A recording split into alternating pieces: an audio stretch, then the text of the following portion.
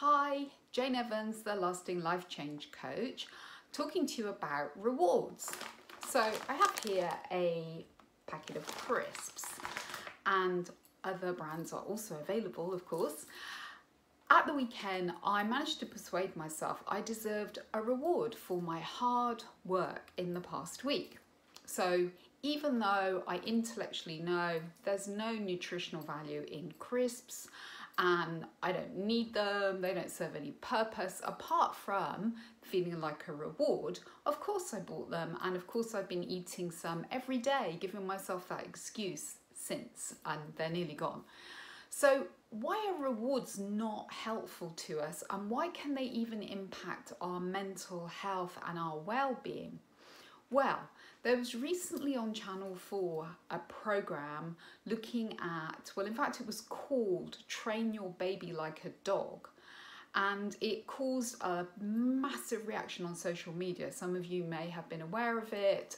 And I was involved. Um, well, I just signed the petition that there was running asking Channel 4 not to show the program and shared it widely because rewards don't respect the whole child.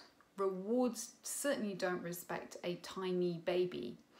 And why is that? And, and this is what underpinned the program. Basically, the dog training was the woman who is a dog trainer, she is nothing to do with children apart from she's raising her own little child using her dog training techniques, has no background in early years, no background in anything to do with children or young people. So let's roll out a program with her.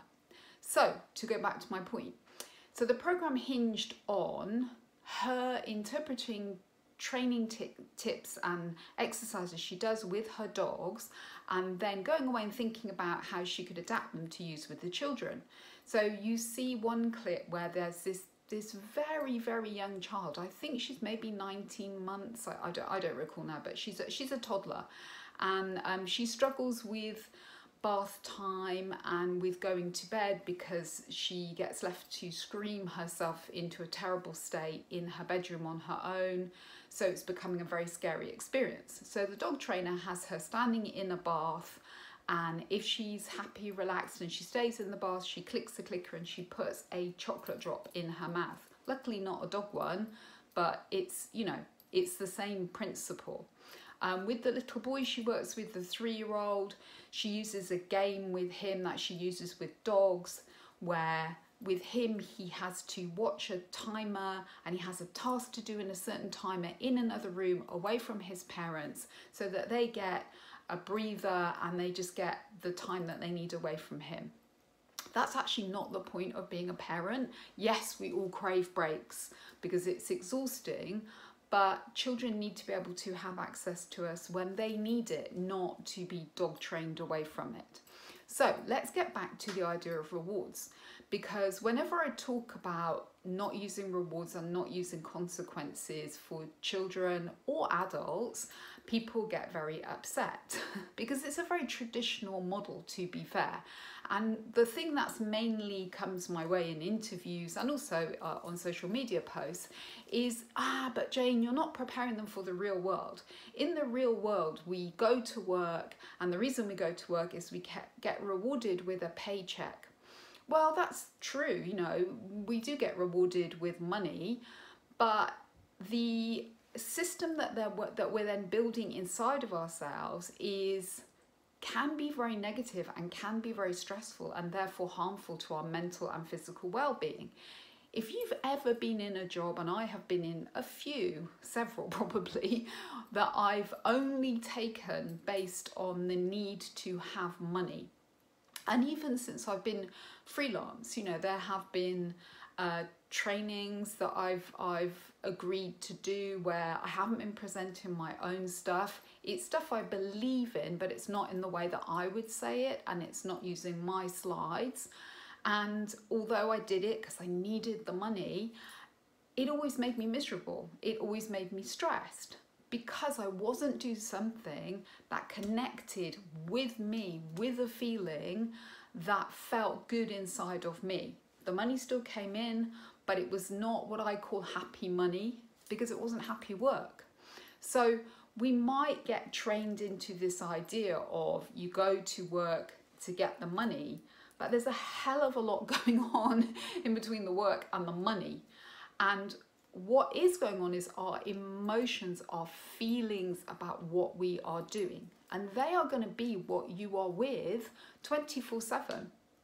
If you really dislike or find your work overwhelming or stressful, then it's going to cause you a lot of emotions, and emotions have a physical presentation in our body and in our brains. And when they are not healthy ones, they make us ill because it's, you know, negative emotions in the body show up as tension and pain and illness. And in our brain, it's like constantly taking money out of the money machine, the ATM. Um, you know, miserable, stressful feelings are like cash withdrawals every day, every day, every day from the wellness bank and nothing going back in. So, what is more important, whether we're raising children or we're thinking about what do I want to do in life? And honestly, I urge you to spend time with this more than anything else, is to work out what actually makes me feel any level of contentment. When I think of speaking in front of audiences about anxiety, about childhood trauma, about brain development, about how we can be healthier because we have different ways of behaving and different practices and different connections with our body resources that literally I can feel my, my heart leap out of my chest. If I think of standing in front of an audience and talking about football, I can just, it's like a cold lump of concrete just arrived in my body. FYI, don't like football.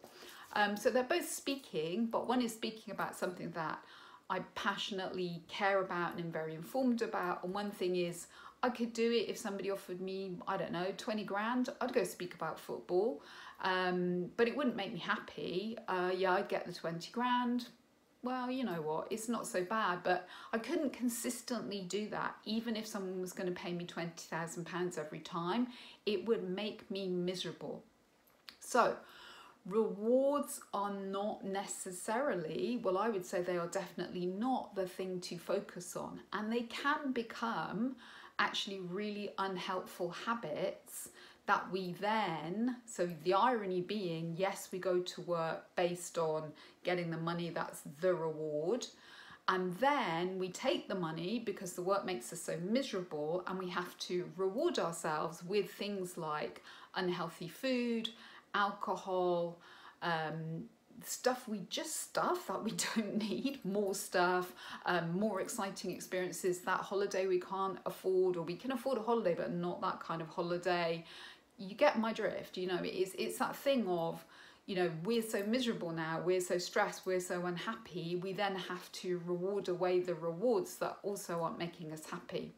So what is important to do is to if you can't escape the, the, the work or the, the thing that you're having to study for right now it may be that you're studying for exams that you know you wouldn't be choosing to take but you have to so what you can do the antidote to this if you can't escape the situation in you're in right now is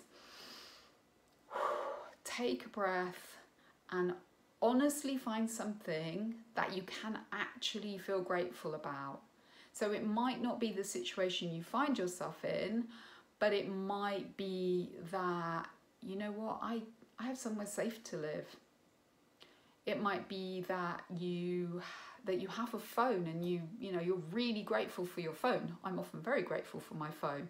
So it can be it can be anything real real in your real life. It doesn't have to be some big magical thing um, so just reach for something. When you when you access gratitude it just floods your whole system with feel good chemicals. So you can't then feel unhappy and so aware of what's going on that's that's not working for you. And the other thing to do is to honestly whether you do it um, with a coach or whether you do it with somebody you really trust, maybe a friend or a family member who's really good at listening, get a really big piece of paper or as big as you can get, really big, um, and put in the middle, I want. And then again, just take a couple of breaths. Maybe do some gratitude again because that always settles your nervous system and your brain. And then just whatever comes into your head, thinking about what do you want to be doing in your life, put it on that piece of paper. And then again, maybe a couple of breaths and revisit each one and check in each time which one makes your heart actually kind of leap a bit.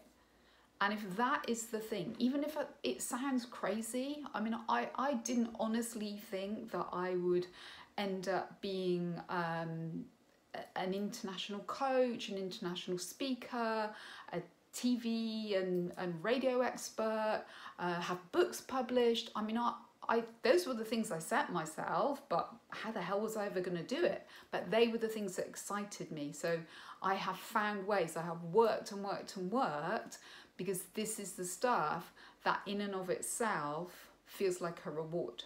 So I, I hope that helps you think about rewards in a different way.